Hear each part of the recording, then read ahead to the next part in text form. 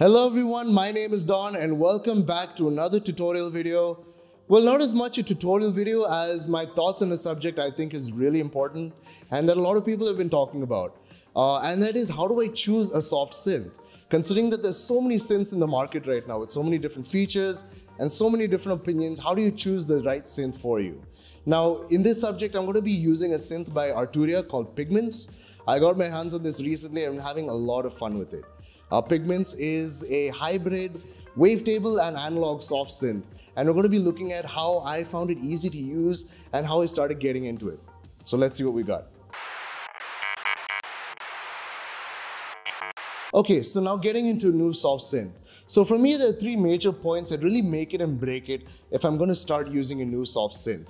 Now, the first major point is the learning curve. That is, how easy is it for me to get into that synth and understand what's really going on.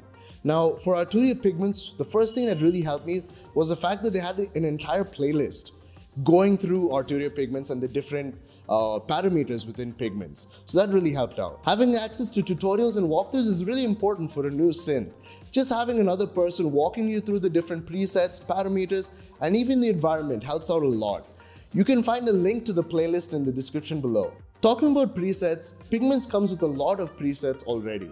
It's all arranged categorically, which means you can choose the right preset for the right instrument. What's really interesting is that these presets come with a sound design tip section. This gives you information on the person who made the preset, as well as certain parameters that that creator thought was really interesting. This is really helpful because this gives you access to certain parts of that preset that the creator thought was really helpful to tweak around with. There's also a super helpful information bar at the bottom of the synth, which shows you information of different parameters and different parts of the actual synth as you hover over them. Another thing that really helps with the learning curve is the fact that all the parameters are available up front. There's no cycling through different pages or a bunch of drop-down menus. I can access different parameters of the different sections of my synth immediately, and that's really helpful. Now moving on to the second reason why I would choose a new synth, and that would be the flexibility of the synth. In this case, let's consider that we've gone through all the tutorials and we understand how the synth works. So now what I'm looking forward to is how flexible the synth is and how easy it is for me to get around and actually make changes to the different parts of my synth. So one of the main reasons why I feel that Pigments is very flexible is because of the modulation section. So if you look at the middle of the software, you can actually see this very comprehensive modulation section from your envelopes to your LFOs to even some very interesting sections that you don't really see in a lot of synths. At the beginning of this modulation section, you can see that we have a keyboard section which gives us access to a lot of MIDI-based parameters. We also have envelopes and LFOs, which can be easily mapped to different parameters within the synth. Now moving on in the modulation section, we now have functions, random, and combinate.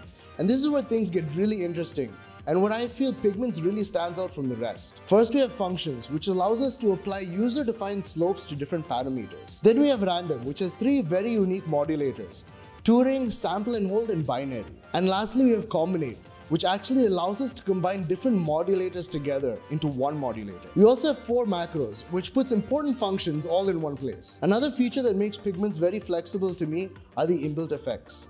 I not only have access to multiple effects like reverb, delay, chorus, phaser, and more, but I can also decide the order of these effects. I can either have them working in a series or even parallel, which is really helpful to have in a synth. Now, the final reason that helps me choose a synth is compatible hardware. Now, though it's not a deal breaker, it is helpful to have some kind of hardware to give you that tactile feel to control your actual soft synth. Now, what I have over here is a Keylab 49 Mark II. And the reason why I really like using it a lot is because I have access to something called Analog Lab. And through Analog Lab, I have access to different parameters from the actual controller itself. I can choose different presets from the controller directly.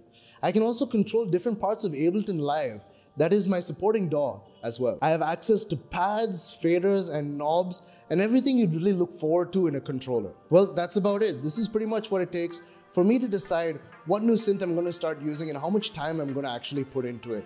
As always, if you liked the video, make sure to leave a like. If you loved it, subscribe and hit that bell icon to receive weekly notifications from us. I'm going to go make some music now. We'll be right back.